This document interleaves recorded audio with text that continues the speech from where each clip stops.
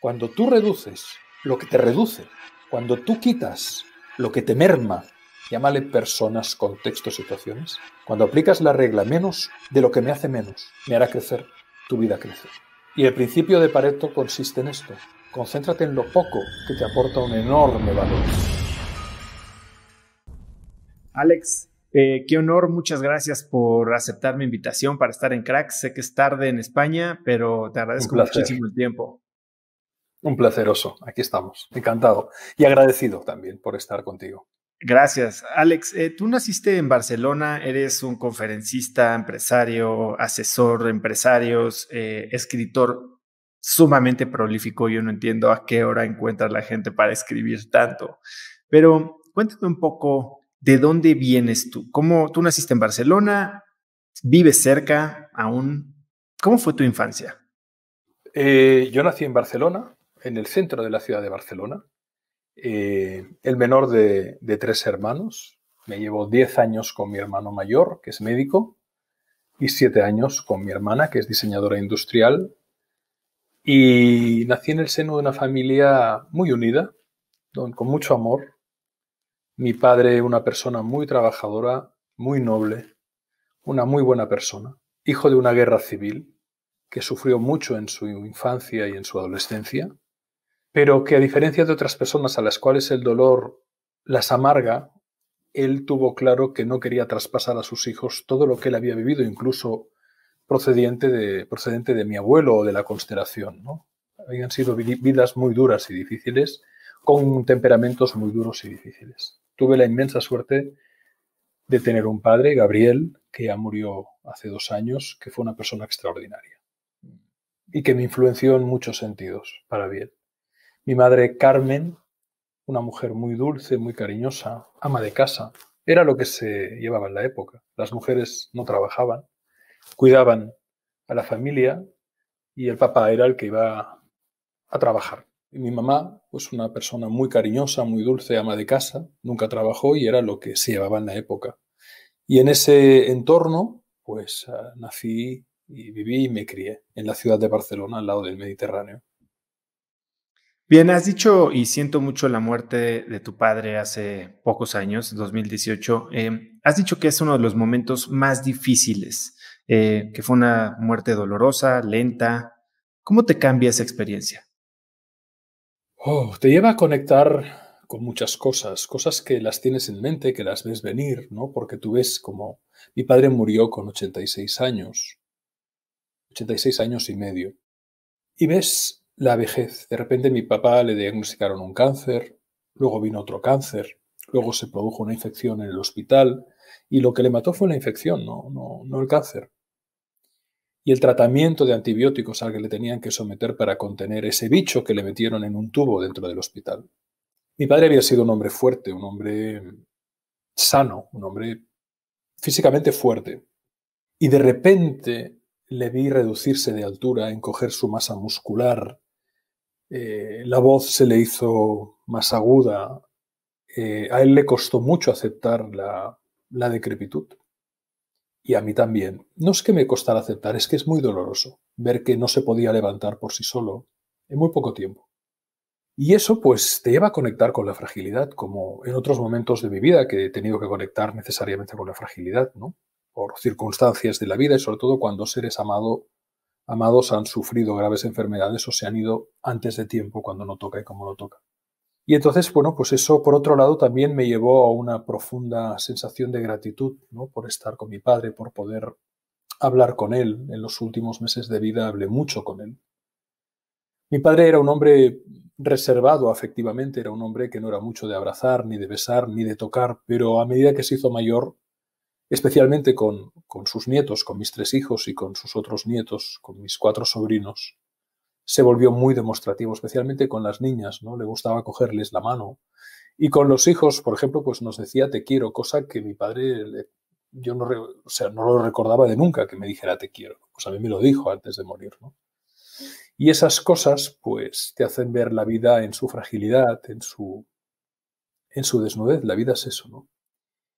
Y fue especialmente bonito poderle acompañar y darle las gracias. Y yo me, yo me siento muy afortunado por haber tenido la oportunidad de saber que él se estaba yendo, porque los médicos así lo dijeron, y por lo tanto, si quedaba algo pendiente, que no quedaba, pero se hubiera quedado, poderlo hablar. En ese sentido, fue muy duro, cómo no, cuando muere un ser amado es muy duro, pero fue muy hermoso. Me, llama la atención esto que comentas sobre tu padre diciéndote te quiero y, este sentimiento de no haberlo oído, porque también has mencionado mucho la diferencia entre intensidad y profundidad, ¿no? El te quiero versus el te amo. ¿Tiene algo que ver con esta experiencia que tuviste con tu padre? Es profundo, ¿no? Que un padre te diga que te ama. Cuando no te lo ha dicho en toda la vida, te lo ha, te lo ha significado, pero porque él venía de un patrón cultural donde los hombres tenían que ser fuertes. Mi papá cuando se emocionaba decía que se había mordido la lengua o que se había quemado con el café. Cuando en la comida de Navidad o en el cumpleaños de algún hijo o nieto iba una nieta o un nieto y le daba un beso y los ojos se le ponían rojos y se le encharcaban, mi mamá le decía, Gabriel, ¿qué te pasa? ¿Te has quemado con el café con ironía? Y él decía, sí, ¿qué pasa? Es decir, eh, los hombres no podían expresar en esa cultura la ternura, la amabilidad. Sí que la, amabilidad sí, pero la ternura, la, emoción pura. Entonces, bueno, pues cuando eso es muy profundo, eso es muy profundo, ¿no? Cuando, cuando hay un encuentro así con alguien que de repente ves cómo van venciendo sus corazas, ¿no? Como el impulso de la vida va mermando y eso le lleva a la persona a que le importe poco lo que puedan decir ya. Es muy liberador. A vivir más auténticamente es vivir más auténticamente, es, es ver como, esa persona, ¿no? Que yo, yo en ese sentido, oso, soy muy expresivo. O sea, yo a mis hijos les digo que les amo, les apapacho, me lo siento en la falda, incluso ya mayores, y soy muy demostrativo, porque tuve el permiso de, serlo, ¿no? Pero quienes no lo tuvieron y, y tú ves que van, van conectando cada vez más con, con, su, con su... que no quiero decir que no estuviera conectado, pero que pueden expresar más desde, desde su corazón, pues hombre, es algo que te sorprende, que te conmueve, que te alegra, porque también para él era muy liberador. Y fíjate que dos o tres días antes de morir, y fue una muerte súbita por un derrame interno, por un aneurismo de aorta, eh, debido a, a, todo el tratamiento que llevaba encima, que le fue debilitando toda la estructura. Dos días antes, los nietos le iban a ver muy a menudo porque viven cerca, ¿no? Mis hijos, y les dijo gracias. Les dio las gracias, hablando gracias, les cogió la mano, se despidió. Él no sabía que iba a morir, porque fue súbito. Se levantó por la mañana y cayó. Pero había algo en él que sí lo sabía. Y fue muy fuerte. Yo estaba en Londres y lo que pasó sé que puede sonar a la casa de los espíritus de Isabel Allende, literalmente. Parecerá realismo mágico, pero me pasó. Y no es la primera vez que me pasa. Y yo estaba durmiendo, eran las seis y media de la mañana, casi las siete, entre seis y media y siete, y me despertó una luz. Una luz había entrado en la habitación. Era un hotel inglés antiguo el que, el que reservé, porque no había otras plazas. Y había una lámpara de esas de cristales, ¿no? una araña, que le llaman una lámpara tipo araña, con varios brazos y con varias lágrimas de cristal y pensé que era el reflejo de una luz que venía de fuera, de un camión de la basura o de un vehículo que hacía una maniobra y que al dar a una de las lágrimas me, impactaba. Y no, yo abrí los ojos y incluso era una luz rutilante, ¿no? como si la pudiera tomar. Y me acuerdo perfectamente que hice así. Y la luz centelleaba, estaba como latiendo, como viva, como si la estrella Venus en un, como si el planeta Venus, como, como la estrella del atardecer o del amanecer, rutilante entrara pero de un tamaño mayor, del tamaño de una nuez que se sitúa a un metro. Y tuve la certeza que era mi padre.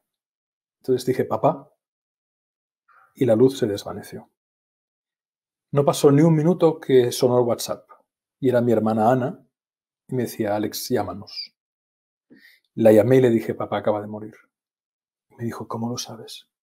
Y yo le dije, se ha venido a despedir no te puedo explicar lo que me acabas de hacer sentir, eh, Alex. Eh, porque, es porque es verdad, si no fuera verdad no sentirías el, el, enchinamiento de la piel. Yo te lo estoy contando y la tengo, tengo el vello erizado porque fue así. Fue exactamente así. A mí me pueden decir que eso fue una, que, que, fue un condicionamiento. No, no. Eso fue tan real como que estoy hablando contigo y estoy tocando el touchpad de mi ordenador. O sea, eh, eso fue real. Lo que pasa que, bueno, que, hay que vivirlo para creerlo, pero fue así. Yo estaba muy unido a mi padre. Eh, muy, muy, muy unido. Había una complicidad enorme que seguramente viene de muy lejos. Y ahí nos volveremos a encontrar. Yo tengo la certeza de que esto no se acaba aquí. La muerte de tu padre ciertamente no es la única muerte que te ha cambiado, que te ha impactado. Tú empezaste a escribir derivado de el fallecimiento de alguien. Cuéntame un poco de eso. Wow, estás muy bien documentado y eso se agradece muchísimo. Sí, eh, mm, La brújula interior, que fue mi primer libro, no tenía vocación de ser un libro. La brújula interior la comienzo a escribir como una serie de apuntes cuyo, cuyo catalizador, es decir, ¿por qué comienzo a escribir? Yo no escribía, yo no escribía, yo era un profesional de la consultoría que me iba muy bien, tenía mi despacho profesional, teníamos casi 50 empleados, servíamos a las principales firmas de todo el mundo a nivel empresarial. En un momento determinado, yo era muy joven, yo tenía 27 años, cuando se catalizó todo esto, 27, 28. Es decir, estaba a punto de hacer los 28, pero yo juraría que esto fue en diciembre, si todavía tenía 27. Y entonces se produjo se produjeron dos hechos, la vida y la muerte. Por un lado, el anuncio del nacimiento de nuestra primera hija, Laia, que ahora tiene 23 ah, años. Y por otro lado, un buen amigo mío que era cliente, una persona a la que yo apreciaba mucho, con 32 años, creo recordar que tenía Josep, José, eh, aparcó el coche en su casa, llegó de noche, aparcó el coche. Era una persona muy fumadora, eso sí, pero era joven, tenía dos niños pequeños. Aparcó el coche y murió fulminado de un infarto. Entonces, en el mismo día por la mañana nos confirma el ginecólogo que, vamos a tener nuestra primera hija y al mediodía recibo la llamada de la muerte de este amigo inesperado. Entonces, eso provocó algo, la vida y la muerte en un mismo momento, la vida de, de tu primera hija, deseada, buscada, amada, un milagro, ¿no? Pero también la tragedia de una persona joven, apreciada, que de repente se va. Y tuve, a raíz de ahí, estuve, pues, evidentemente un tiempo de duelo, pero hacia la primavera, un día tomé una libreta con la que yo iba a ver a mis clientes y tomaba notas. En aquel momento no existía el iPad ni nada parecido. Y comencé a escribir. Y de esos apuntes eh, salió el que sería mi primer libro y que todavía sigue vivo. Y mira, hoy Hoy mismo me han escrito dos personas que me parece increíble porque han pasado 20 años y cada día hay correos sobre la brújula interior. Quizás se me conoce más por la buena suerte, por el libro La buena suerte, pero la brújula interior ha tenido un impacto muy fuerte aparentemente en muchas personas. Entiendo que ese libro, eh, tal vez durante el proceso de escritura o de ya materializarlo como un libro en sí, fue un ejercicio tuyo también medio de reinventarte. ¿Qué querías cambiar en tu vida en ese momento? Esencialmente fue así. Es decir, exactamente fue un libro que nació porque fíjate que normalmente tú no te cuestionas la vida hasta que una crisis emerge en tu propia vida. Es decir, a veces el sufrimiento puede ser tremendamente productivo. Hay sufrimientos estériles. Hay sufrimientos que si no sacas conclusiones de ellos, si no reflexionas, si no te llevan a una acción determinada, podríamos llamar que no son, que no son productivos, que son estériles. Pero hay procesos de sufrimiento que pueden ser radicalmente transformadores, radicalmente catalizadores y productivos. Y yo en aquel momento eh, vivía una serie de circunstancias en mi ámbito profesional que no me hacían estar a gusto, desde el temperamento de una persona que, era un jefe, que era una persona que tenía cosas muy buenas, pero también tenía cosas muy complicadas. Hasta la tarea que yo hacía, yo, yo estudié ah, marketing, investigación de mercados, me iba muy bien, se me daba muy bien, pero no era mi vocación. Yo, yo, quería haber sido médico, pero mi hermano mayor estudió medicina y cuando me tocó a mí, mi papá me dijo, Alex, eh, ayúdame en el negocio familiar, una pequeña, un pequeño negocio de artes gráficas, de imprenta, de, que iba bien, pero era pequeño. Y bueno, yo decidí hacer eso, pero no era mi vocación. Mi vocación era era sanar. Era sanar, era cómo, cómo evitar el dolor, cómo, cómo, cómo sanar. Yo quería ser médico. Pero claro, yo estaba ya casado, iba a nacer mi primera hija. ¿Cómo cambias de vida entonces? ¿no? Ya tenía mis compromisos eh, hipotecarios. Y ahí, pues, en el fondo, esas, cartas a la brújula interior, que son cartas al lector, eran cartas también a mí mismo. Y en ese proceso que en paralelo transcurrió con un proceso de psicoanálisis muy fértil, pues se produjo una transformación en muchos sentidos de mi vida. Transformación que periódicamente siempre hago. Yo cada, cada ciclo natural, cada 6-7 años hago una transformación importante, un salto. Este año, este año he hecho otro salto muy importante. Y muy radical, además, en muchos sentidos. Pero el cuerpo me lo pide.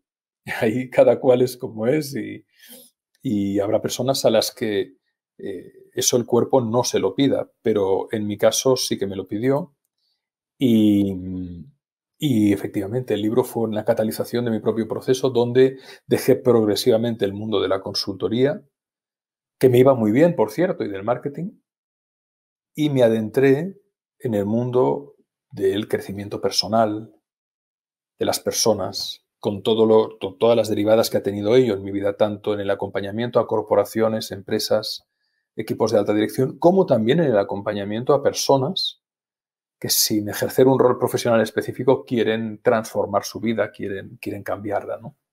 Y ahí, a partir de los 28 años, ya comencé a entrar en ese terreno verdaderamente vocacional. Tienes más de nueve libros escritos, nueve millones de copias vendidas alrededor del mundo, varios idiomas. ¿Por qué escribes? Te he oído decir que, que entiendes o, o, que piensas que la manera de hacer tus ideas realidad o tus deseos realidad, el primer paso es escribiéndolos. Sin duda, sin duda, pero sin duda. Y así es. En realidad son, creo que ya son 18 libros, eh, de todo tipo.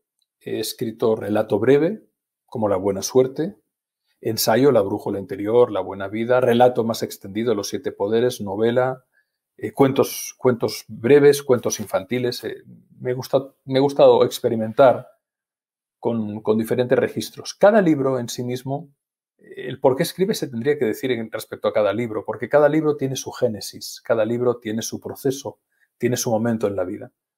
Personalmente me gusta mucho escribir. Me gusta mucho procurar conectar con los demás a través de la palabra, sea la palabra hablada, sea la palabra escrita. Creo que, como decía el filósofo Raimundo Lulio, la palabra es el arma más poderosa o es la herramienta más poderosa para, en el sentido positivo y en el negativo, pero en el positivo, ¿no? Para catalizar, para transformar, para alquimizar, para sanar.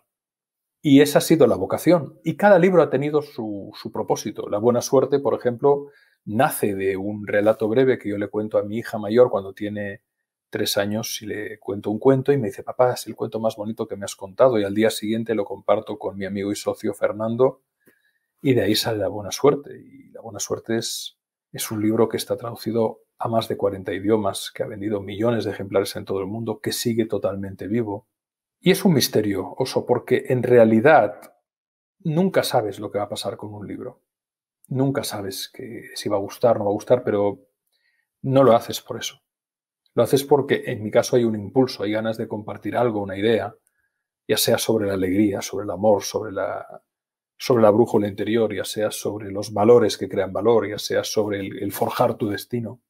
Temáticas que en un momento determinado te, te inspiran y decides trasladarlas al papel o al formato digital o al audiolibro para que de alguna manera aquello que tú crees que te ha sido tremendamente útil pueda ser útil a aquellas personas que también quieren crecer y quieren cuestionarse cosas.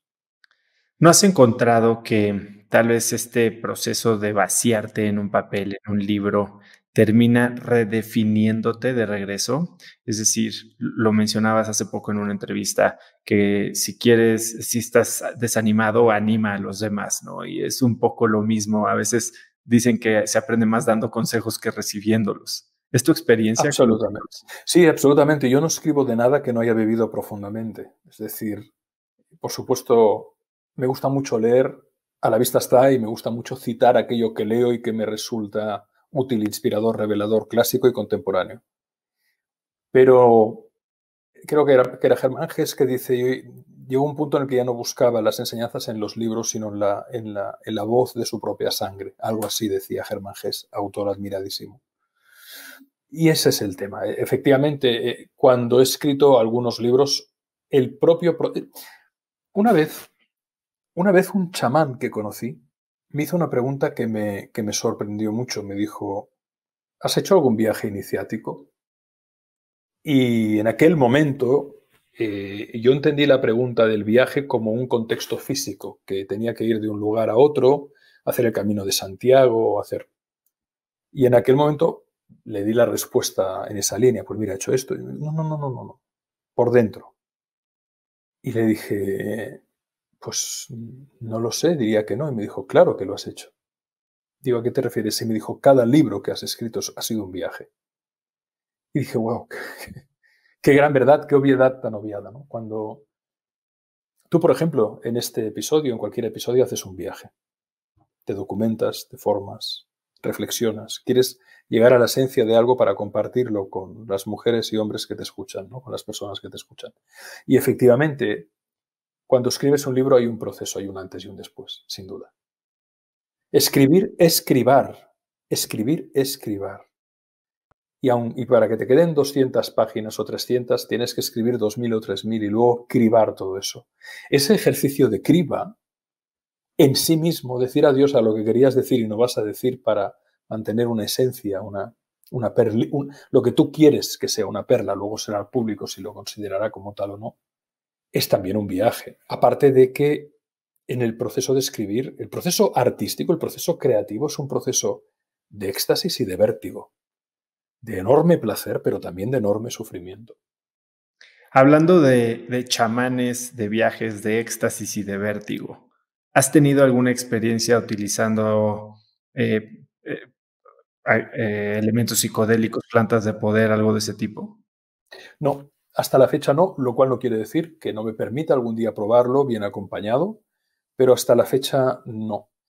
No por nada, no por ningún prejuicio ni por ningún freno. Creo que puede ser un, que bien acompañado, bien guiado por alguien que realmente sepa, puede ser una experiencia muy interesante pero no, sí que he tenido experiencias de, vislumbre eh, espiritual profundas, pero no catalizadas por nada, ni por nadie, ni por mi propia abolición. Han venido regaladas y eso yo le llamo el beso de Dios, o de la diosa. Pero ese beso se ha producido en diversas ocasiones a lo largo de mi vida y se viene produciendo cada vez con mayor frecuencia. Tocaste hace un momento tu gran filosofía sobre el poder del lenguaje, ¿no? Y, haces mucho énfasis en el poder creador de la palabra. Te he oído describir el poder creador de la palabra en tres ejes. ¿Me podías platicar un poco de cómo piensas sobre eso? Ahora mismo no recuerdo los ejes porque debía surgir la idea en alguna entrevista, pero, pero, pero por un lado la palabra cura. Es decir, cuando una persona es capaz de expresar sus miedos, sus dudas, sus rabias, sus culpas, sus anhelos. Aclara el corazón. Expresar no es un ejercicio solo mental, es un ejercicio de limpieza, de vacío emocional. Se habla mucho del mindfulness, ¿no? Pero para tener verdadero mindfulness tienes que tener peace hardness, es decir, para tener la mente, la mente en conciencia, tener el corazón sereno y expresar ayuda mucho a vaciar el corazón de sufrimiento, de, angustia, que viene de angosto, de estrecheces, y por tanto las palabras curan. La palabra, por otro lado, tiene el enorme poder de transformar la realidad. Por eso, como tú bien decías, tengo la certeza de que el primer lugar en el que los sueños de alguien se hacen realidad es cuando se escriben en un papel o se escriben en una pantalla cuando se escriben. Yo soy muy amante de la escritura a mano, ¿no? de la escritura con un lápiz o con un bolígrafo, con una estilográfica, escribir, dibujar, conceptualizar, porque allí la mente y el corazón se expresa, lo ves, tomas distancia, lo puedes modificar, corregir, ampliar. Sea escribir, sea dibujar un mapa mental, lo que sea, conceptualizar. Por un lado hay un, hay un, hay un poder de sanación, hay un poder de creación y en definitiva hay un, hay un, hay un poder alquímico, alquímico, alquimizador, transmutador, elevador. Y podríamos ver muchas otras funciones, ¿no? Pero, pero paradójicamente, fíjate que la palabra nos ayuda a conceptualizar, a ordenar, pero tan importante como la palabra es el silencio en el que surge la palabra. Y es como un latido, ¿no? La sístole y la diástole, todo movimiento de vida, todo, todo tiene una dualidad aparente que no deja de ser una pura unión, ¿no? Igual que es muy importante expresar, igual que es muy importante escribir, tan importante o más, diría, es conectar con el silencio del que emerge todo eso, porque en realidad también tengo la certeza de que nosotros no escribimos, somos escritos. En realidad, a mi modo de ver y por lo vivido, somos marionetas divinas. No hay tal cosa como Alex. Eso es, una, es un montaje, es una idea. No hay tal cosa como oso. Es la supraidea que monta nuestra mente de un falso yo que no existe.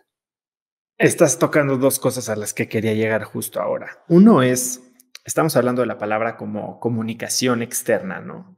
Pero así como contamos historias para interactuar con el mundo, nos contamos historias. Y es ahí justo a donde llega la segunda parte, que es esta idea de nosotros que nosotros mismos incluso creamos, ¿no? Y tú hablas de que el destino es lo que pasa cuando no hacemos nada por cambiarlo. Entonces, cuéntame un poco, o por evitarlo, ¿no? Por evitarlo. ¿Qué, ¿Cuál es el poder que tenemos nosotros para modificar lo que creemos? Que es algo en lo que tú te has especializado muchísimo y, justo ahí entra el concepto de la suerte tú. Sí, y, del último libro, Las siete llaves, que el mensaje va, va, va precisamente sobre esas siete llaves del pensamiento, de la emoción, de la identidad, del placer, del logro, que, nos, que nosotros mismos nos cerramos en una jaula porque heredamos las llaves de otros y nos quedamos ahí, ¿no? La pregunta era concretamente, Oso. Que estas historias que nos contamos, cuando hablas del poder de la palabra. ¿Cómo liberarnos de esas creencias? Correcto. Ahí está. Bueno, a un nivel psicológico, mm, somos un sistema operativo autoportante que, se, que va funcionando. Y un sistema operativo que ha sido programado ya en la más tierna infancia. Eres alto, eres bajo, eres gordo, eres flaco, eres listo, eres torpe, eres como tu tío, serás bueno, serás malo, serás tal, serás cual.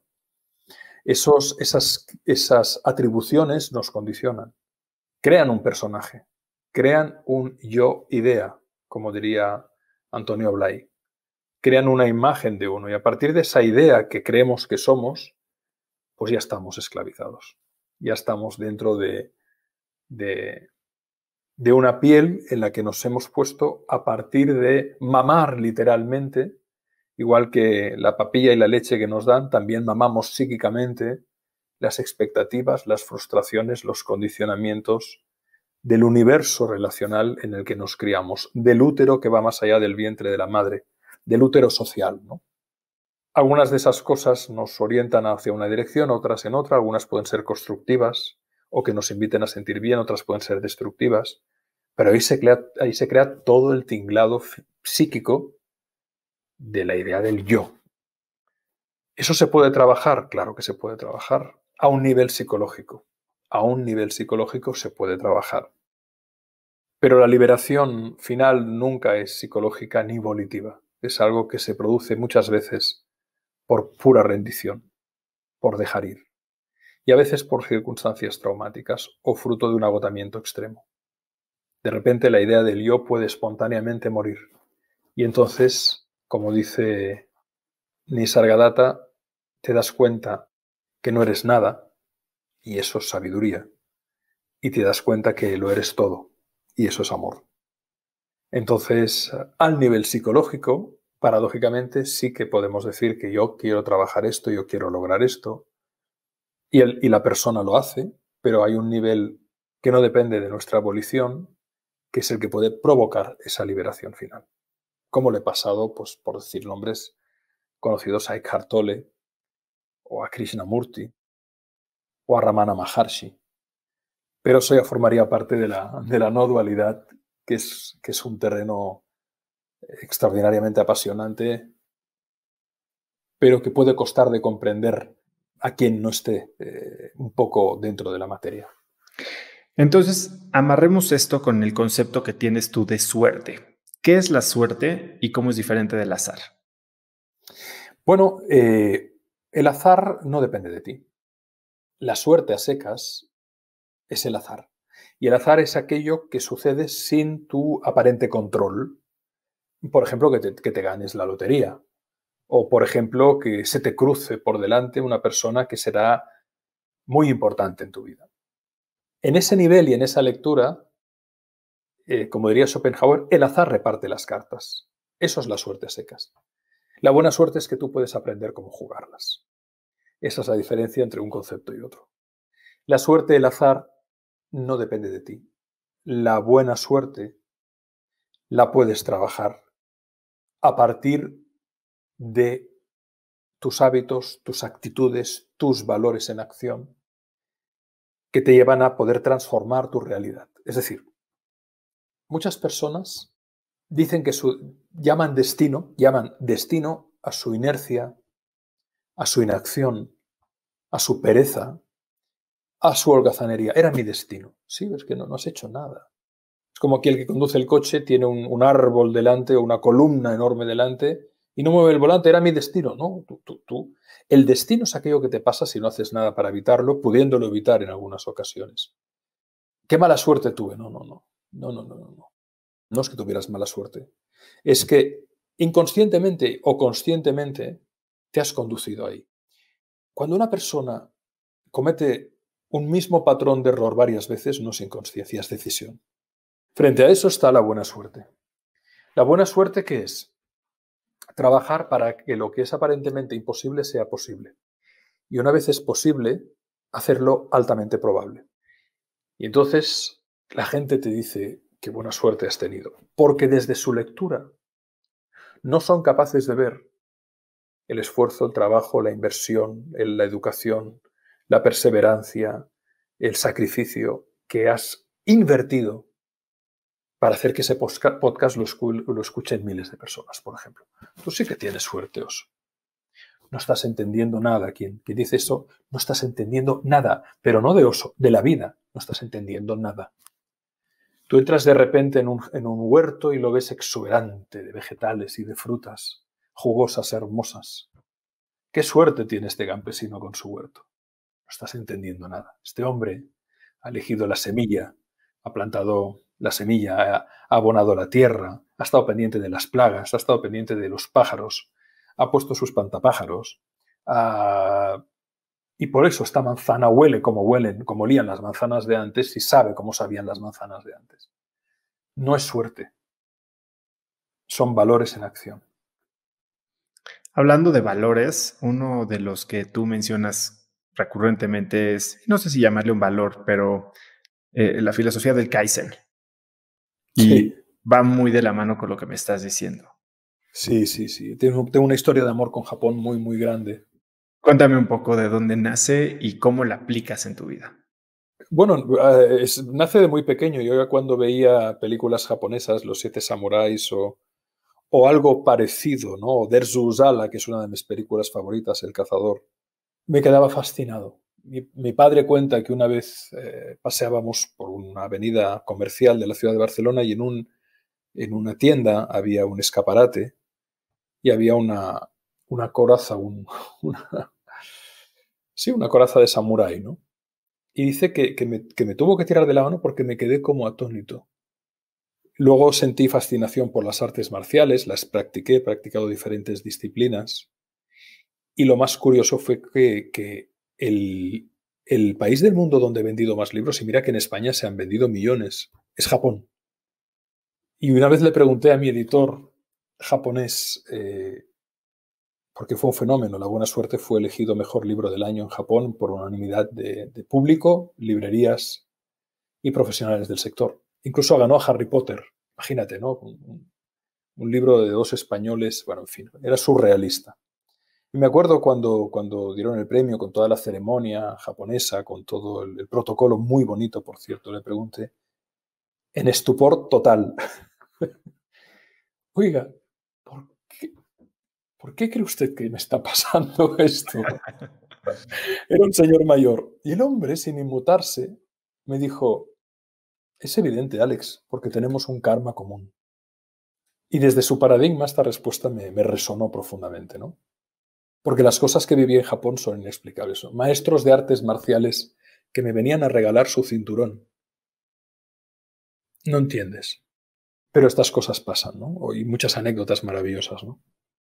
No sé cómo he llegado hasta aquí, porque me haces preguntas que tienen una profundidad enorme, entonces me, me, pongo a navegar, ¿no? No te preocupes. Em, Kaizen, bueno, hablaste un poco de karma. El Kaizen, claro, y la cultura, y la cultura japonesa. Entonces, el Kaizen es la mejora continua. Es como la pequeña mejora diaria, cotidiana, el pequeño hábito diario puede llevarte a medio plazo y sobre todo a largo plazo a un cambio radical de tu vida. ¿no? Matemáticamente pongo un ejemplo para que se entienda y para que se pueda ver cabalmente. Yo siempre digo, tú toma una habilidad, la que sea. ¿no? Imaginemos que podemos, que podemos medir una habilidad en una mejora determinada cada día. Ya sea tu forma física, ya sea tu peso, ya sea tu capacidad lectora rápida, ya sea tantas cosas que se pueden medir, ¿no? Y que tú decides mejorar un 1% cada día, en algo que ese 1% sea factible. Bueno, una mejora de un 1% diario, no tardarás 100 días a llegar al 100%, porque es un 1% que, que sumas cada día sobre lo anterior, hace una curva exponencial de mejora. De modo que en 70 días habrás llegado al 100%, no en 100 días, en 70, si cada día mejoras un 1% sobre el anterior.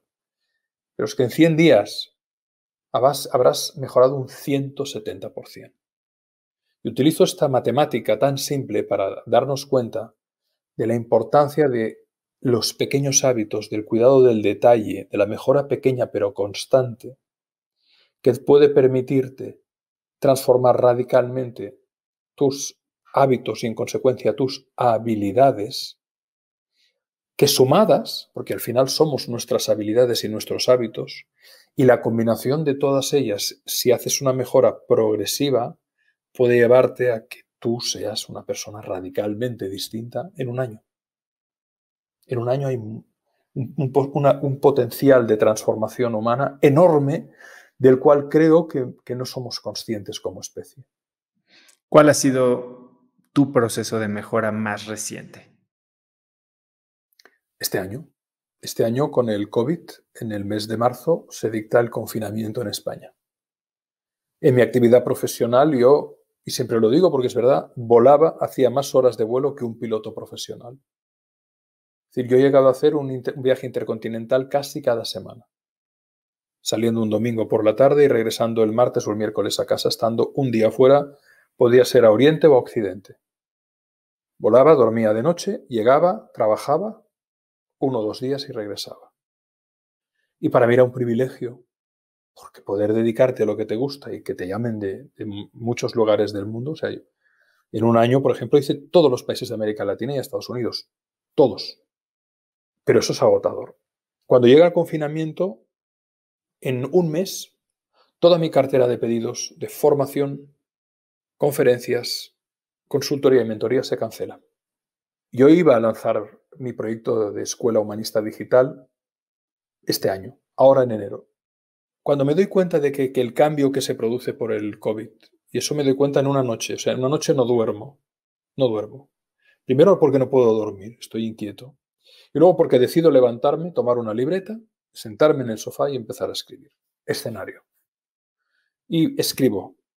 Posible cambio de escenario, hablo varios escenarios, uno en cada página, y uno era el escenario más radical, que el confinamiento se alargaba, que la pandemia no se solucionaba hasta dos o tres años y que por lo tanto mi trabajo, mi manera de trabajar y de ganarme la vida quedaba anulado. Y por lo tanto yo además ayudo a toda mi familia. Es decir, mi mamá es mayor, la pensión no lo da, etcétera, etcétera. Mi, mi hermana la cuida, en fin, la familia es muy grande y de alguna manera me siento responsable de, proveer y de ayudar y de que los míos, mis seres amados, puedan beber, puedan comer, puedan estar bien. Y esa noche, oso, tengo claro que el proyecto que tenía que comenzar dentro de nueve meses lo voy a comenzar en un mes. A la mañana siguiente tomo, voy a cambiar mi iPhone, tomo un iPhone porque el que tenía ya estaba viejito, con una buena cámara, me compro un trípode y empiezo a grabar mi primer curso digital. Y en menos de tres semanas lo lanzo. Y en estos nueve meses he lanzado cuatro cursos, tengo más de 7.000 alumnos, con un nivel de satisfacción de prácticamente 5 sobre 5 en la escala de evaluación y con un proyecto radicalmente distinto. Estoy viviendo de otra manera, sin viajar en absoluto, dedicándome a crear contenidos tanto de acceso gratuito, el podcast, mi canal de YouTube, las redes sociales, atendiendo a personas amables y brillantes como tú, que me brindáis la oportunidad de, de conocer a otras personas. Y me he digitalizado radicalmente, incluso mi actividad, que antaño me suponía viajar constantemente presencialmente, la he mantenido igual en el mismo volumen de facturación, haciéndolo todo digital, pero ofreciendo productos, contenidos, herramientas totalmente distintas. Entonces ha sido una reinvención total, absoluta, que se materializó en un mes. Hablando de transformación, de optimización, de mejora continua, además de Kaizen, hablas mucho de la ley de Pareto y de cómo el 20% de tus esfuerzos producen el 80% de tus resultados. Exactamente. ¿Tienes claro qué tipo de actividades para ti, Alex, son las que yo le llamo tu tiempo genio? ¿Qué, ¿Qué haces en ese 20% que es el que te produce el 80%? Y que con eso, claro, decides eliminar, delegar, Excelente pregunta, excelente, excelente. Me encanta además, porque es que creo mucho en este principio de que una minoría de las causas genera una mayoría de los efectos. Y lo vengo aplicando a rajatabla desde hace años y, me gusta que me lo preguntes porque es muy bueno que las personas sepan que lo podemos hacer. Primero, permíteme que enuncie muy brevemente la ley de Pareto. Pareto, Wilfredo Pareto era un ingeniero, un físico, un matemático italiano que descubrió que, por ejemplo, el 20% de la ropa que tienes te la pones el 80% de las veces. Que el 20% de las semillas de una cosecha son las que generan el 80% de los frutos. Que el 20% de tus clientes te generan el 80% de tus ingresos. Y así lo podríamos extrapolar en todo. 20-80, puede ser 15-85, puede ser 10-90, pero una minoría genera una mayoría. Entonces, conclusiones prácticas. Concéntrate en tu vida en aquello poco que te aporta mucho. Y por otro lado, es mi invitación, y es lo que yo aplico, descarta de, tu vida aquello que hace mucho ruido y te aporta muy poco. Eso lo aplico en todo. Lo aplico en los libros que tenía o que tengo. Lo aplico en las amistades que tengo. Lo aplico en, en los vínculos profesionales que tengo. Llega un punto en la vida, no sé si es por madurez física o por madurez psicológica o por puro cansancio, que decides descartar aquello que no te aporta, que decides dejar de sostener aquello que te quita energía. Y eso es de lo que hablo en las siete llaves. La fórmula matemática te dice que menos por menos es igual a más. Es decir, cuando tú reduces lo que te reduce, cuando tú quitas lo que te merma, cuando tú eliminas lo que te quiere eliminar, llámale personas, contextos, situaciones. Cuando aplicas la regla menos de lo que me hace menos, me hará crecer, tu vida crece. Y el principio de Pareto consiste en esto. Concéntrate en lo poco que te aporta un enorme valor. Es decir, yo prefiero tener tres buenos amigos que cuando hablo con ellos en una conversación salgo inspirado, renovado, comprendido, que puedo sumar, que siento que sumo, que siento que doy, sinergia pura, que no tener a alguien que está en el pero constante, en la queja constante, que le da soluciones y que, y que, y que ironiza o tal, no me hagas perder el tiempo. Si te encanta ser la víctima constante, sélo, pero conmigo no. Porque yo quiero dedicar tiempo a personas que realmente, si se quejan, trabajan para mejorar aquello que les provoca la queja no para hacer del quejido su firma de identidad constante. Para aterrizar un poco esto, ya en tu vida, ¿cuáles son las, qué dirías, las cosas que sí caen en ese 20% en tu vida particular? Y, todo, todo eso, todo. Relaciones, vínculos profesionales, tiempo de calidad, lecturas, elección de contenidos que me eh, nutren. Exacto. Entiendo, entiendo que lo aplicas a todo como regla. ¿Qué es, o más bien te voy a preguntar, qué es lo que has eliminado? puntualmente, cuéntame algo. Ah, muy bien, muy bien, más tal vez trabajo te ha costado tomar la decisión de eliminar? Pues personas. Personas, querido, porque lo que más cuesta, más que eliminar es, es yo creo que hay un momento, lo vuelvo a decir, ¿eh, Oso? La palabra es selectividad. Yo creo que en la vida llega un punto en el que tienes que ser selectivo. Es decir, pongo siempre el mismo ejemplo. ¿Tú, ¿Tú mantendrías una empresa en pérdidas constantes? ¿Verdad que no? ¿Verdad que nadie en su sano juicio mantiene una empresa? Hablemos a, Silicon Valley, porque ahí parece que eso les encanta, ¿no? Sí, o empresas públicas, ¿no? Pero un emprendedor que tiene sus ahorros, sus recursos, que es una persona decente, que sabe lo que es tener que endeudarse, pedir, oye, si esto no va y veo que no lo puedo rectificar, oye, pues voy a por otra iniciativa. Uno tiene que lucharlo, evidentemente, todo. Pero lo que quiero significar es que, es que no dejaremos que en nuestra vida entre algo que nos succione la energía o los recursos emocionales, intelectuales, financieros, energéticos. Vale. Lo que más cuesta es elegir con quién quieres vivir y cómo quieres vivir. Al límite tenemos dos opciones. Procurar, procurar, porque también en tu entorno familiar habrá personas y en tu inercia relacional habrá personas a las que de entrada te cueste decirles adiós. Pero yo creo que hay una enorme confusión en el tema de las relaciones y de los afectos y del amor, ¿no? El amor tiene que pensarse, los vínculos tienen que pensarse, tiene que hacerse un balance emocional. Porque si no, las personas que tienden a ser que tendemos a darnos muchos a los, a los demás, que tendemos a entregarnos a los demás, podemos entrar en dinámicas de ruina emocional, de ruina energética y en consecuencia de ruina existencial.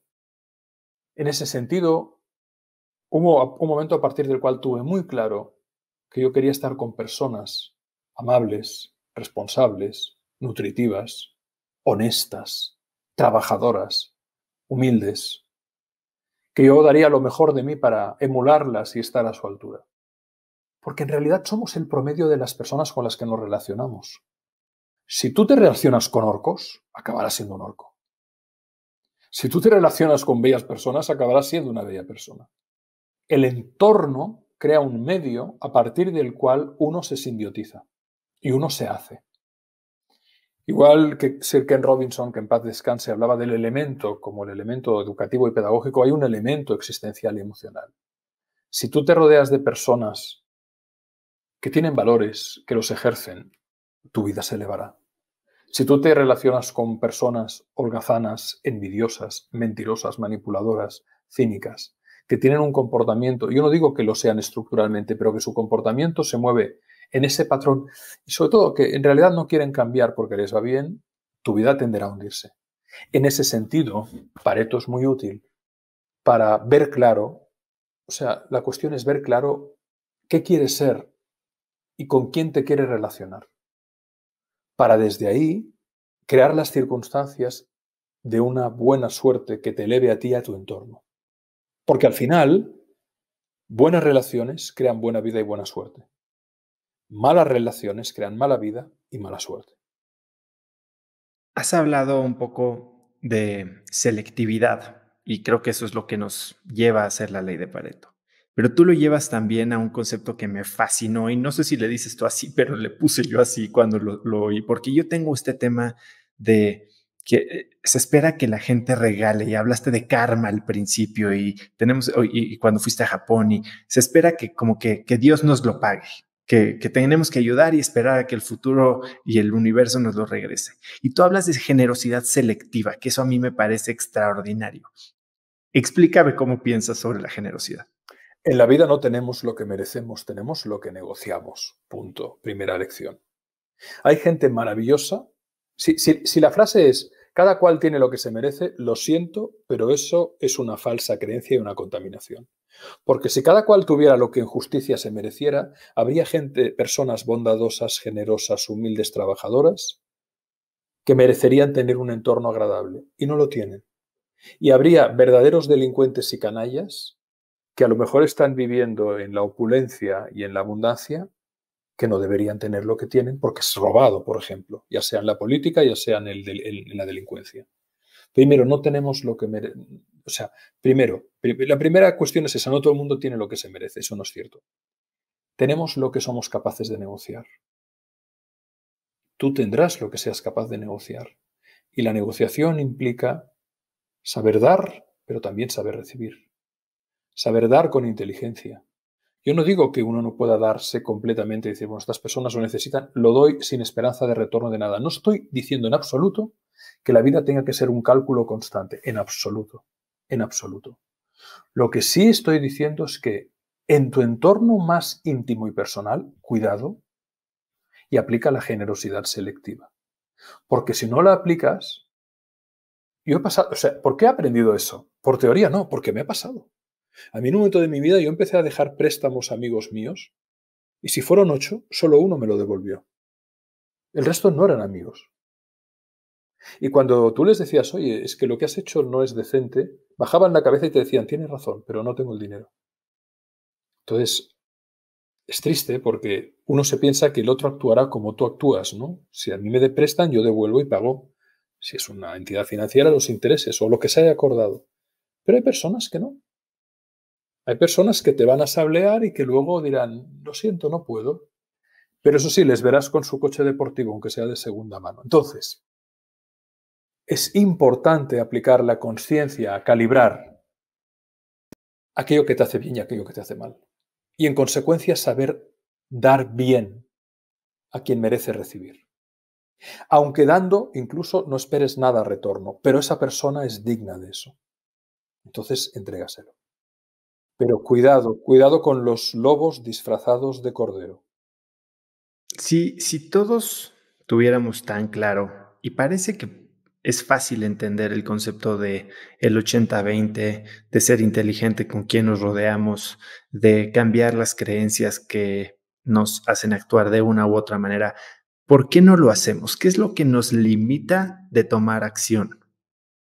No, no todo el mundo lo tiene tan claro en absoluto, porque esto no te lo cuentan en el colegio. Las lecciones más importantes de la vida, salvo que tengas la suerte enorme en ese sentido, suerte, azar, de que te toque una gran maestra o un gran maestro que vaya más allá de la clase de literatura que la clase de matemáticas y te hable de cómo aprender a vivir. Salvo que no hayas tenido la suerte de que tu papá o mamá, el abuelo o la abuela o en el entorno alguien te haya reflexionado sobre todo eso, eso no se enseña en la escuela ni en la universidad. En la escuela no se enseña la inteligencia emocional, social, psicoafectiva, psicológica. En la escuela no se enseña a negociar. En la, en la, escuela no se enseña que si te endeudas por según que vas a vivir la vida siendo esclavo de cosas que en realidad no necesitas. En la escuela muchas veces, por lo menos antaño, de todo eso que nos ayuda a aprender a vivir, no se enseña. Se enseña a leer y a escribir, pero no se enseña a escuchar y a hablar. Se enseña matemáticas, pero no se enseña teoría de la negociación. Por lo tanto, en realidad, muchos seres humanos acaban su bachillerato, su formación, si tienen el privilegio de poder ir a la escuela, siendo verdaderos analfabetos emocionales, sociales y psicoafectivos.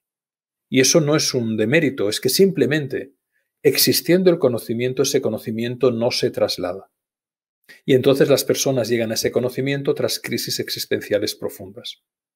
Un divorcio, la estafa de un socio, la muerte inesperada de un ser amado, que llevan a esa persona a la consulta de la psicoterapeuta, del psicoterapeuta o del coach, o del mentor, o a la sección de libros de filosofía, o de buena literatura, o de crecimiento personal, buenos que los hay, y mucho, porque en todo hay verdaderas eh, desastres, hay novelas horrorosas y hay novelas maravillosas, hay poesía mala y hay poesía bellísima.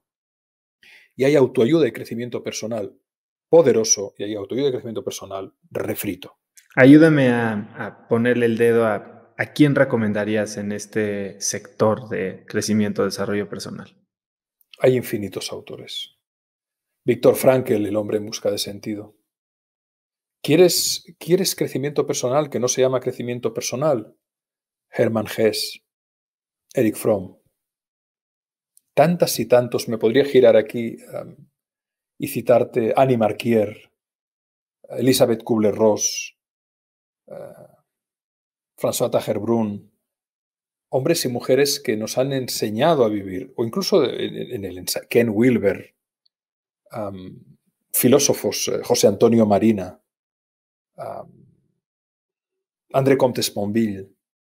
Es que miles. En mi página web tengo páginas de libros recomendados y en el canal de YouTube recomiendo libros constantes. Hoy, hoy he escrito, hoy he hecho dos vídeos recomendando El hombre en busca de sentido de Víctor Frankel y Hábitos atómicos de James Clark hay mucho y muy bueno para leer en todo lo...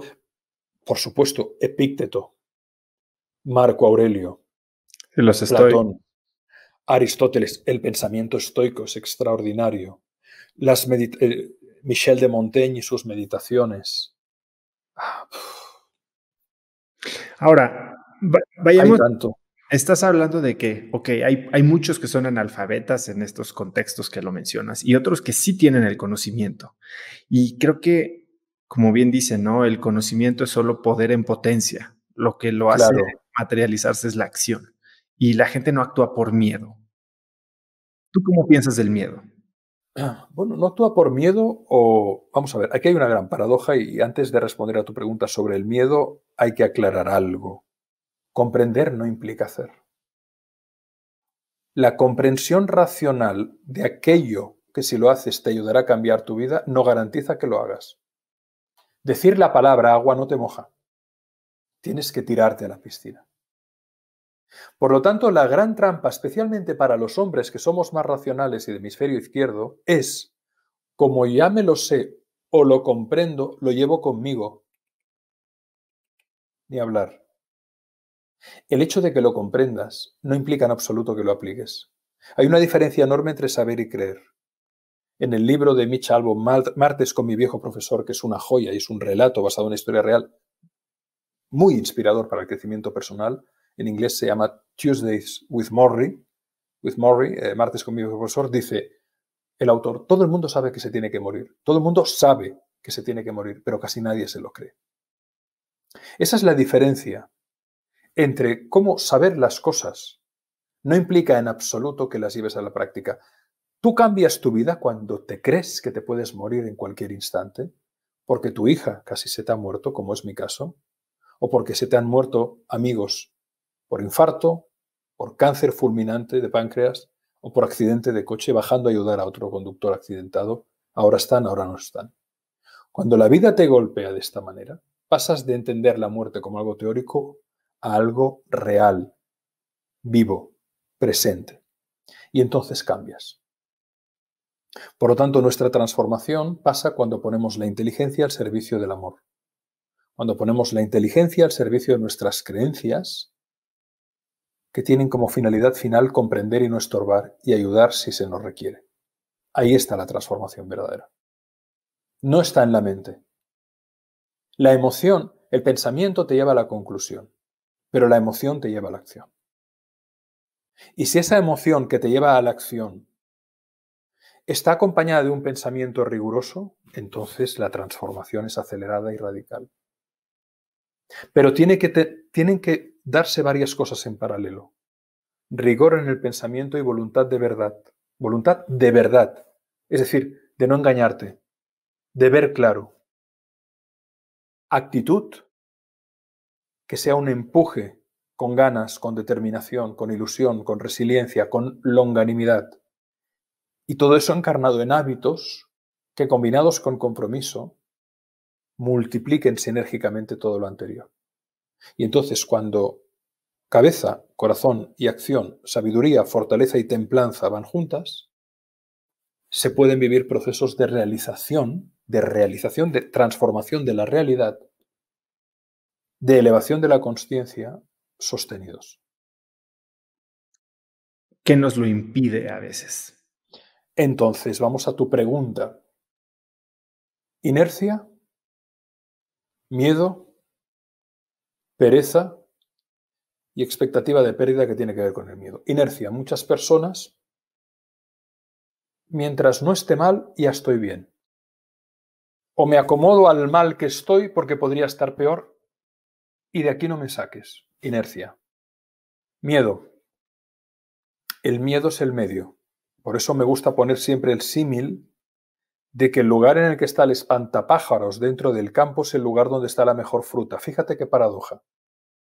El campesino pone un espantapájaros justo en el lugar donde está la mejor fruta. El miedo es el medio para que el pájaro supiera dónde está la mejor fruta. Es decir, aquello que le tiene que provocar miedo, si el pájaro tuviera reflexión, sería aquello que le llevaría a decir, en esta cruz vestida con harapos humanos, hay la mejor cosecha. Y esta metáfora la utilizo para las personas porque muchas veces hay que diferenciar el miedo con objeto. Te viene alguien con una navaja y te la pone en la garganta y te pide la plata, dale la plata. Hasta si cuando entrenas en artes marciales te dicen no, no pongas en riesgo tu vida si hay una pistola en medio. Toma, anda. Vete. Otra cosa es que pongan en riesgo la vida de un ser amado, entonces hay que darlo todo. Ese es un miedo con objeto. Pero muchos miedos que tenemos no tienen objeto. Son imaginarios. Son fantasmas que hasta que no te enfrentas a ellos, te das cuenta que no eran tan grandes como tú te los pintabas. En la gran mayoría de los casos. No solo por mi observación vital, sino por el acompañamiento a muchas personas. Inercia, miedo, pereza. Hay gente holgazana. Y te voy a decir, no lo digo yo, la psicología social observa que hay una enorme correlación entre el pesimismo y la holgazanería. Y luego expectativa de pérdida. Es decir, que tiene que ver con el miedo, pero el miedo es emocional, la expectativa de pérdida es más mental. Es que si hago esto voy a perder. Y a partir de aquí se pone en marcha un relato que inhibe el contacto con la realidad a partir del ensayo y error. Y luego, por supuesto, el profundo temor al fracaso, que no tiene que ver con el error, el error es aquello que te permite aprender más en la vida. Si de él aprendes, rectificas, lo corriges, te disculpas y lo compensas. El problema del error es cuando lo tapas con la mentira, porque entonces entras en una dinámica donde cada vez añadirás más mentiras para tapar errores. Y eso puede provocar el hundimiento de una persona, de una sociedad o de un país. Pero cuando el error decides aprender de él, tu transformación es rapidísima. Otro problema con el error no es solo que muchas personas lo tapen con mentiras cada vez mayores hasta que revientan, sino que se confunde error con fracaso, que no es lo mismo. El error es algo que se ha producido por falta de experiencia, por desatención, por inconsciencia, pero tú puedes aprender y mejorar. Pero cuando el error le pones la capa de la culpa, se convierte en fracaso. Y hay personas que se autocondenan porque hacen de un error un fracaso y están toda la vida en la posición victimizada que les impide tirar adelante a sí mismos y a su entorno. El fracaso, la lectura del fracaso no sirve, porque el fracaso va vinculado a la culpa. La lectura del error sí que sirve, porque el error va vinculado a la responsabilidad. Y ahí está la transformación. ¿Qué haces tú cuando tienes miedo? Lo enfrento. Y eso te lo puede decir mi pareja, mis hijos. Yo soy una persona que en general tengo pocos miedos o me duran poco porque voy a por ellos. Porque en la vida no he tenido más remedio, yo no he tenido una vida fácil. Yo comencé a trabajar de muy jovencito y siempre he estudiado y trabajado. A los 12 años ya comencé, incluso antes, incluso antes ya daba, ya me buscaba la vida. Entonces, eh, si algo bueno me transmitió mi padre es que apenas me dio plata, te la ganas tú, muchacho. Y mientras otros pasaban vacaciones de tres meses en verano, yo me iba a hacer de mozo de taller, moviendo cajas. O me iba a pasear perros, o me iba a dar clases particulares, incluso a muchachos de mi misma edad. Cuando tengo miedo, le miro a los ojos, lo calibro, procuro ser consciente de el toro que me tocará lidiar. Si es una vaquilla, y no despreciemos a las vaquillas, más de una vaquilla ha matado un, torero, por poner un ejemplo, ¿no? Aunque a mí precisamente el, ver sufrir al toro no me, no me gusta. Pero por poner el ejemplo, ¿no? Es decir, eh, mirarle la cara al dragón y calibrar por dónde salir de su posible llama y ataque, ¿no? Y por lo tanto ponerse en acción. Al final es la acción reflexionada, el equilibrio entre la reflexión y la acción y el sentir lo que te permite desmitificar muchos de los miedos sin objeto que tenemos. Dime algo, para prácticamente verle la cara al dragón, ¿tienes algún tipo de ejercicio, alguna pregunta que te haga? Sí, sí, por supuesto, por supuesto. Primero una, luego te, daré la respuesta. Primero una reflexión que me viene a colación y por asociación de ideas. ¿no? Cuando te he citado antes a Elizabeth Kubler-Ross, que fue una mujer pionera en los cuidados paliativos y que acompañó a muchas personas en el tránsito de la muerte y tiene libros maravillosos, ¿no? como La rueda de la vida o La muerte, coma, un amanecer, entre otros. Ella preguntaba a los pacientes, a los que eran pacientes enfermos terminales con graves enfermedades o ya en una vejez, si volvieras a vivir, ¿qué harías? Respuesta prácticamente única. Cada cual lo expresaría con sus palabras y a su manera y con sus giros, ¿no? Pero me hubiera arriesgado más. ¿A qué te refieres? ¿Que aquello que quería hacer y no hice? ¿O que aquello que quería decir y no dije? Me parecen ahora algo muy banal comparado con el hecho de que me muero y esta decisión no la tomo yo. Me voy a morir mañana o una semana. Por lo tanto, me hubiera arriesgado más. Estas personas se dan cuenta entonces de que veían un dragón enorme cuando en realidad no era tal, era su proyección. Porque en realidad decir eso a esa persona, reconciliarse con el hermano, con el hijo, con el amigo, arriesgarse a, montar, a, decirle a esa persona que la amaban o a montar tal negocio o a pedirle tal persona eso, no tenía por qué dar tanto miedo. Era más una cuestión de orgullo, era más una cuestión de, de falta de confianza, pero no objetivamente algo arriesgado. De nuevo, si hay algo a lo que tienes miedo, Escribe qué pierdes si no lo haces y qué puedes ganar. Escribe situaciones en tu vida en las que te hayas enfrentado a una situación tremendamente desafiante para ti que te daba mucho miedo. ¿Qué sentías entonces? ¿Qué hiciste? Situaciones que te dieran mucho miedo pero que superaste. ¿Qué hiciste para superarlo? ¿Qué aprendiste? ¿Qué obtuviste? Observa el patrón. Escríbelo. Situación que me daba miedo. ¿Por qué me daba miedo? ¿Qué sentía? ¿Qué hice? ¿Qué obtuve? ¿Qué aprendí más allá de lo que obtuve? Observa el patrón. Y piensa que eso es muy probable que se produzca también en toda su bondad si lo aplicas ahora. Sí, es recordarnos que por mucho que estemos sufriendo el momento presente, esto probablemente ya lo vivimos y ya lo superamos de una manera u otra. Y que salvo que sea una circunstancia realmente crítica, muy difícil, la inmensa mayoría de nuestros problemas y de nuestros miedos y de nuestros y de la percepción de los desafíos que tenemos no está en el objeto en sí o en la circunstancia, sino en la lectura que le estamos haciendo nosotros. Lo que creemos tiende a ser lo que creamos. ¿Cuál ha sido tu último miedo que has enfrentado? Por supuesto, a nivel profesional, la decisión de cambio radical de toda mi actividad y objeto de negocio y el entrarme en un mundo que para mí era muy desconocido y en el cual no era para nada experto. Y puedo decirte que nueve meses después he aprendido tantas cosas, no sé si soy experto, pero si un amigo me viniera y me dijera, eh, quiero tu consejo, podría estar hablando con él varios días. Eso por un lado. A nivel, a nivel personal, la última vez que, pasé, que he pasado un, miedo importante ha sido al ver a mi hija menor en su adolescencia en un momento de enorme confusión.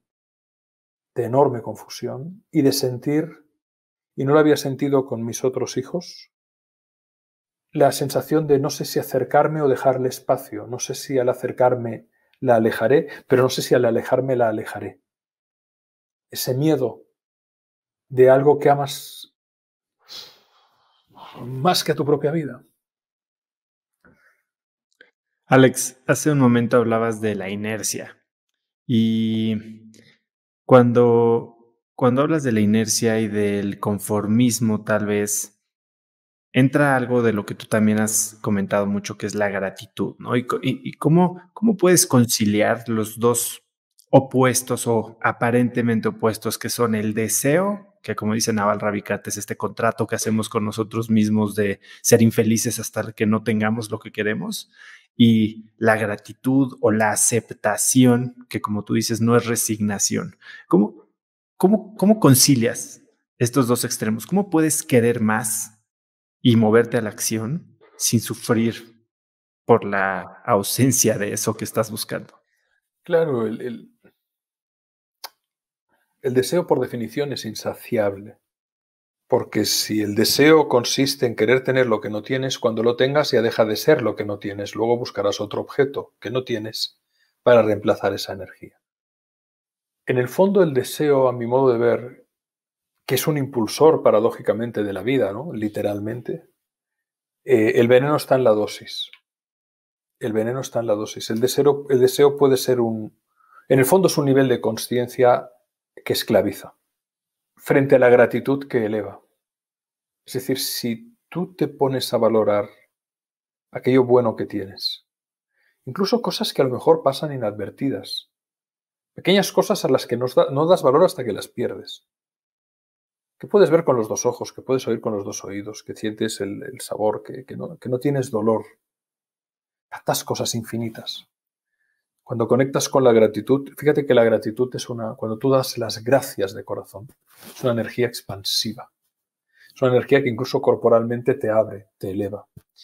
El deseo es una energía de ambición, de depredación, de supervivencia, pero que con la manipulación puede convertirse en que llegas a creer que aquello que deseas realmente lo necesitas cuando no lo necesitas para un carajo. El deseo te hace esclavo. La gratitud te eleva. Entonces, eso no quiere decir que, no, tengamos que dejar de desear. Es lícito y es natural que haya este movimiento de nosotros hacia querer crecer, querer vivir, querer experimentar, querer disfrutar. Pero el veneno está en la dosis en la medida en que, en que tú pierdes tu libertad, tu autonomía, tu dignidad por deseo, estás en las manos de, una suerte de esclavitud que tú mismo te has impuesto. Entonces, la pregunta es, a mí me encantó una frase que escuché al padre Pera Casaldáliga, Pedro Casaldáliga, que decía, todo lo que no es necesario es robado. Es decir, se lo está robando a alguien que sí que lo necesita. Pero mal que no nos guste, vivimos en un mundo donde, donde el deseo es una moneda de cambio muy fuerte, sobre todo aspiracional, para aquellas personas que no se sienten en plenitud consigo mismas, que piensan que adquiriendo esa cosa podrán ser aquello que, que solo podrán ser en realidad si lo nutren en su interior. La transformación no viene nunca de, fuera hacia adentro. No habrá nada de fuera que pueda llenar el vacío que tú tienes. Ese vacío lo vas a llenar tú trabajando en tu propia alma, haciendo de buzo de ti mismo, de minero de ti mismo, y sobre todo paradójicamente dejando ir, dejando ir y agradeciendo, teniendo una actitud ante la vida de compasión, de no tomarte las cosas personalmente, de voluntad de entregar amablemente si te piden, de voluntad de comprender y no molestar. Y es ahí en ese, en ese vaciarse progresivamente, de olvidarse de las miserias del pequeño yo, que eventualmente puede venir el beso de lo divino. Hablaste de no tomarte las cosas personalmente. Si te oí decir que los cuatro acuerdos eh, de Don Miguel Ruiz. El libro de, Don Miguel Ruiz es extraordinario. Yo también lo creo y, es uno de esos libros que hasta hay gente que te voltea a ver hacia abajo diciendo, ¿cómo puedes decir que eso es de tus libros favoritos o que más te han impactado? ¿Qué te llevas tú de ese libro? ¿Cómo lo estás aplicando tú todos los días en tu vida?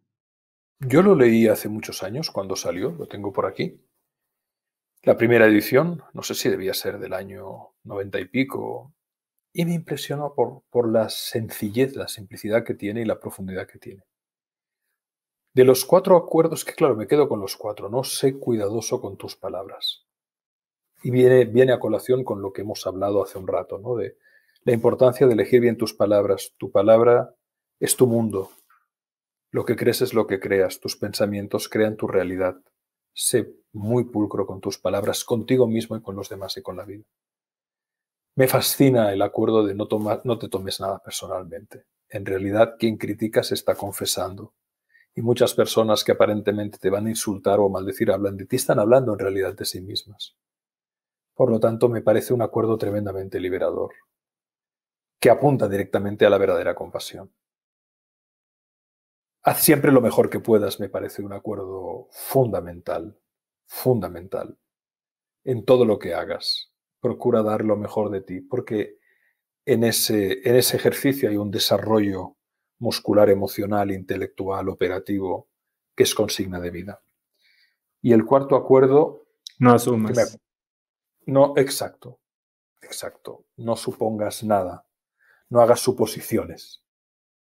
Es extraordinario porque tiene mucho que ver con las falsas creencias proyectadas, con los prejuicios, ¿no? con lo que yo creo que tú crees sobre mí, con toda esa basura mental que le ponemos al otro que en realidad nos pertenece.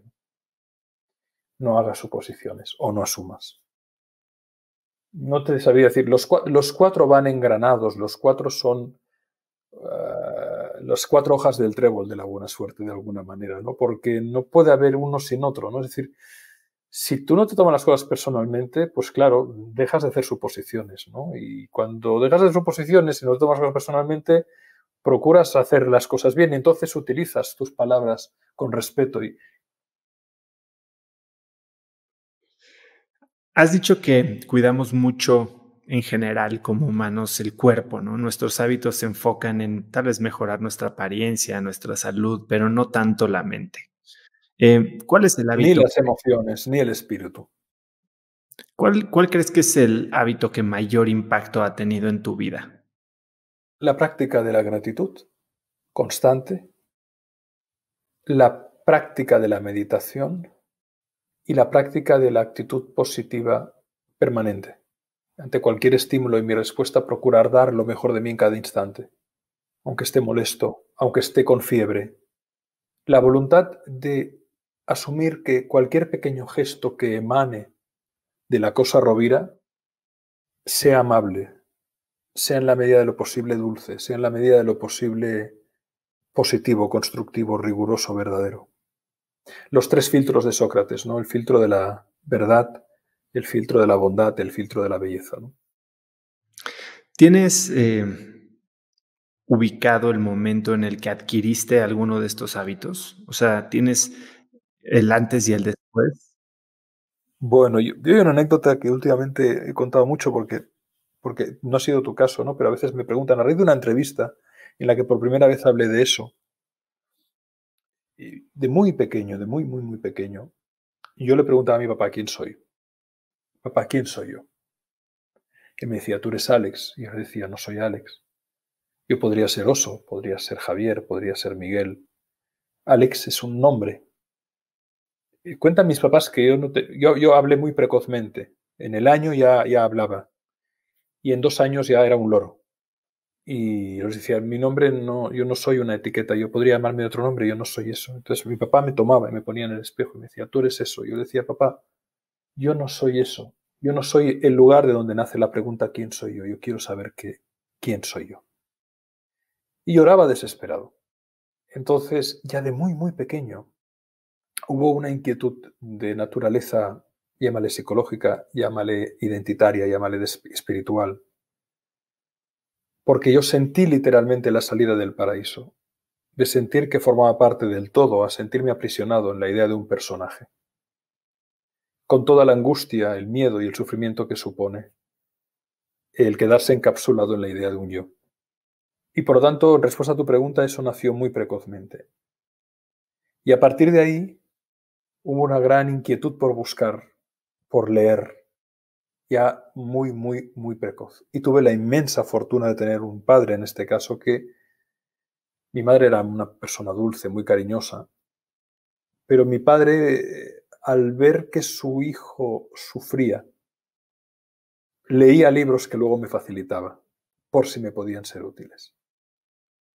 Me, me encantan esas historias porque hay muy poca gente que de verdad se sienta a, entender esos momentos que los cambiaron, ¿no? Y que puede entender el efecto que tuvo y entonces buscar crear momentos similares nuevamente, tanto para ellos como para la demás gente. Y luego, apreciadoso, sin duda, momentos muy catalizadores han sido, por un lado, te diría Eros y Tánatos, ¿no? Tánatos, la muerte.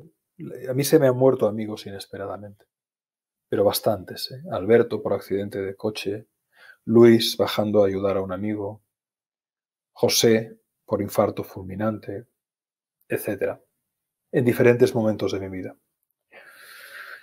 Y cada una de esas muertes, cada uno de esos plutonazos, eh, han sido crisis profundas, ¿no? Existenciales profundas.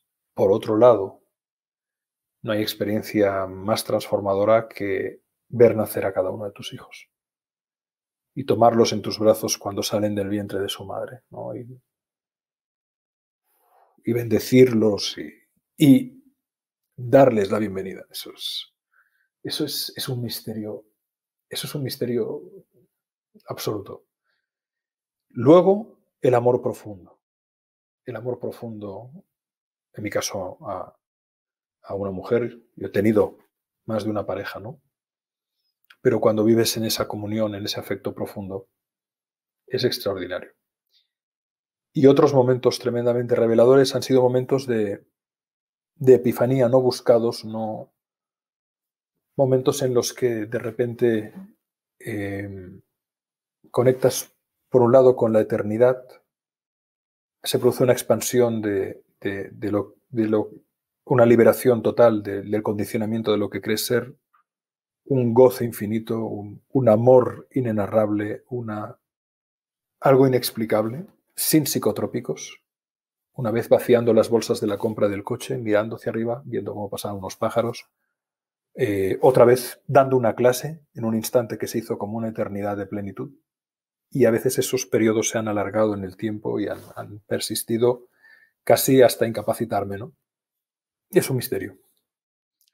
Alex, eh, transformaste, como dijiste, tu vida en 2020, al menos profesionalmente. Sé que la transformaste el año anterior, por como lo mencionaste al principio, el cuerpo te lo pedía. Eh, ¿Cuál es el proyecto que más te emociona para este 2021? Sin duda, sin duda la Escuela Humanista Digital. La Escuela Humanista Digital que, que abrí este año y que tantas alegrías me ha dado He lanzado el curso Crea tu buena suerte, Crea tus buenas relaciones, Crea y logra tus objetivos y metas. Y ahora, Crea tu buen amor. Y voy a ir lanzando cursos digitales a un precio muy competitivo, muy bajo, con la intención es aportar muchísimo valor a un coste muy bajo y crear una comunidad de aquellas personas que quieran tener herramientas de, de liderazgo, de, transformación personal, de meditación, de, emprendimiento, de, relaciones, de comunicación. conjunto de herramientas que creo, contenidos que creo que no se dan en, la mayoría de, los casos ni en universidades ni en ningún sitio. Es decir, hay una enorme cantidad de contenidos útiles que afortunadamente sí que se van comenzando a explicar, pero antaño no se daban, cada vez más, pero no se daban. Y a mí eso me da un sentido de, una alegría enorme y me da mucho sentido a mi vida porque veo la transformación de las personas, sus procesos de cuestionamiento, su inquietud, su curiosidad y sobre todo su florecimiento. Y eso es, eso es, eso es. ¿Dónde, ¿dónde puede aprender más la gente sobre esta escuela? Pues eh, te agradezco mucho, eres muy generoso. En mi página web, alexrovira.com, todo junto, alexrovira con la b baja.com con v. Y ahí está todo, está mi acceso a mis redes, eh, los cursos, mm, el canal de YouTube, los podcasts, muchos eh, contenidos, artículos, vídeos gratuitos, porque quien no tenga recursos para pagar también puede acceder a muchísimo contenido que voy publicando constantemente, dando herramientas, eh, recomendando lecturas, compartiendo reflexiones eh, ahora, quien quiera una formación más sistematizada, estructurada, además con un seguimiento más personalizado, pues están los cursos. Pero hay mucho material gratuito también para aquellas personas que quieran compartir. Eres alguien que habla de temas con los que sería muy difícil estar en desacuerdo. La verdad, eh, o sea, son temas no creas, no, no, creas, Oso, eso tú. Me encantaría entonces que me dijeras, dime algo que tú creas que sea verdad y en lo que tal vez poca gente está de acuerdo contigo. Wow, es probablemente la pregunta más difícil que me han hecho nunca. No, no, eh, cuidado que tiene mucha enjundia. ¿eh? Algo que sea, que yo crea que sea verdad. Mira, lo siento, pero es que te voy a responder una frase de Bertrand Russell que probablemente es mi frase favorita de todas. Me pareció absolutamente genial. No moriría por ninguna idea. Podría estar equivocado. Por lo tanto, no mm, no diría nada en lo que yo crea que pueda ser verdad porque puedo estar equivocado. Tuve a un invitado en el podcast eh, que me decía que todas las verdades son subjetivas porque son verdades para quien las cree.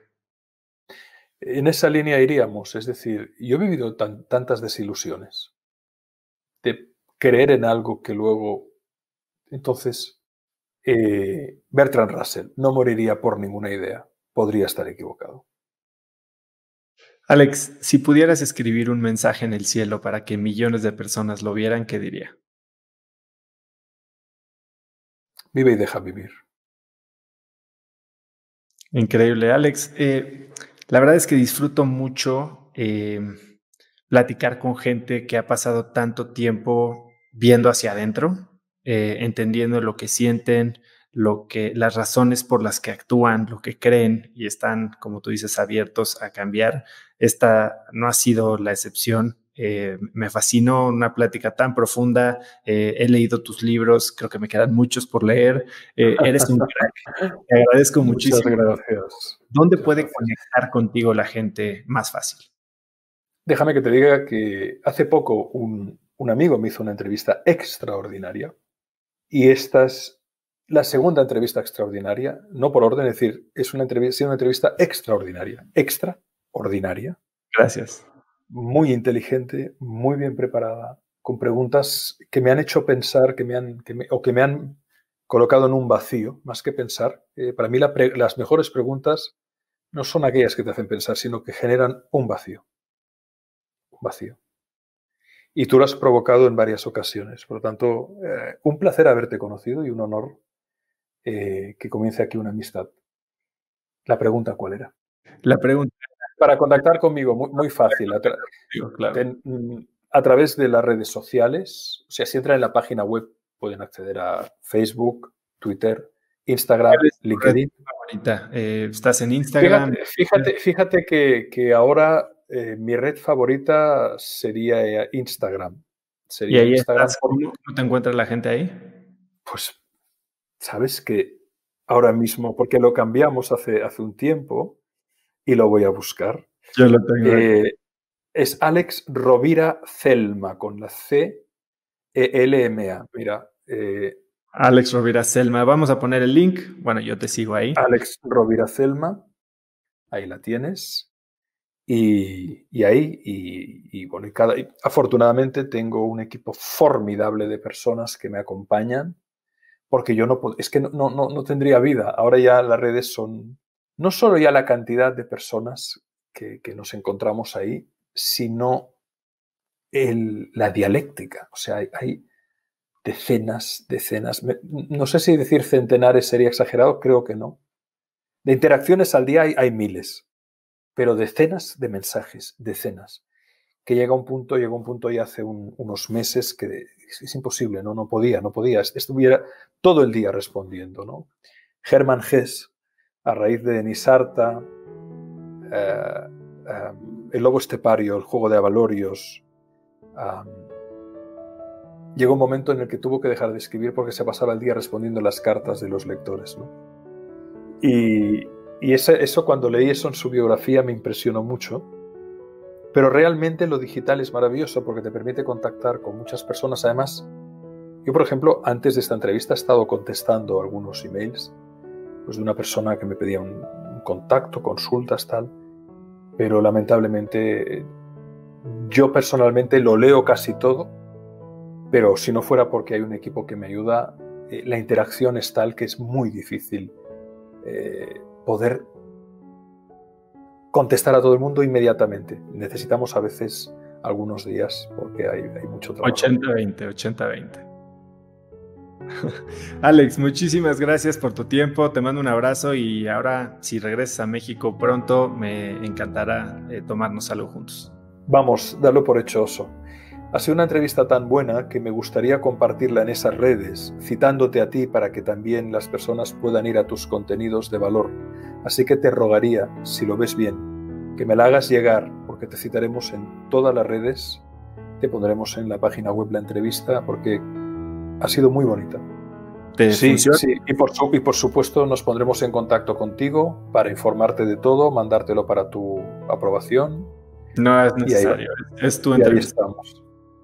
Alex, te agradezco mucho que tengas buenas noches. Buenas noches, buenas tardes para ti. Un gran abrazo. Saludos a mi querido México. Chao. Bye.